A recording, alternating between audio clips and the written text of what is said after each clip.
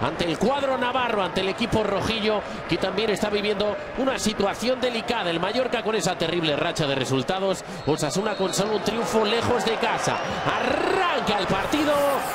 Primer ataque para el Mallorca. Quiere recuperar ya la pelota. Osasuna lo va a conseguir. El equipo de Mendilibar que todavía no está en el banquillo. Que continúa sancionado como ya lo estuviera la semana pasada tras ser expulsado ante el Fútbol Club Barcelona. Y te quería decir, Luis, el Mallorca respecto al equipo de la semana pasada. Mantiene Manzano toda la línea defensiva.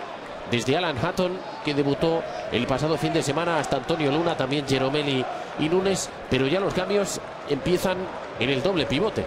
Junta a Pina y a Javi Márquez, que es lo más creativo que tiene el equipo. Vuelve a aparecer Pereira. Y arriba está Gemet. Y bueno, algunos gritos contra Manzano. Ya sabemos que el preparador andaluz no acabó demasiado bien en su última etapa en la isla. No, se marchó, se marchó y además se marchó presentando una denuncia contra el club por las deudas que mantenía con él. Ajá. De hecho, está en la lista de acreedores.